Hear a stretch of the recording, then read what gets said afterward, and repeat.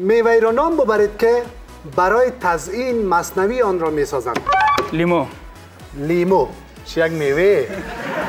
از پرنده ای را نام ببرید که گوشتش کباب می‌شوند پرندایی که ده هواست پرندایی که ده هواست نه چی میگه رو در رو. امشب ساعت هفت و سی از طلو